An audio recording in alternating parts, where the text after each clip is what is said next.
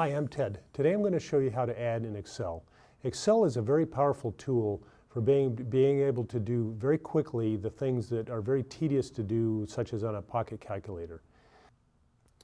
So what you do for any formula in Excel is you go to the, the, the cell where you want the result to be, you click on the cell and you type an equal sign, and what that will do is that will start it's something entering in in the formula bar up here. And, and, when you type an equal sign, Excel knows right away that it's going to be a formula. It's going to do some calculations. Then what you do is you click on the first cell you want to add, which is over here, the first number, so that's cell A2. Then you type a plus sign. Then you click over here on the next cell and type another plus sign. And then finally go over here on the third number, click on it, and now hit a return and there you go. There you have the numbers. 1 plus 2 plus 3 is 6. Now, what we want to do is we want to copy that formula to the other cells. Now, of course, we could go in here, we could do the same thing for the next line and the next line, but that would be very tedious.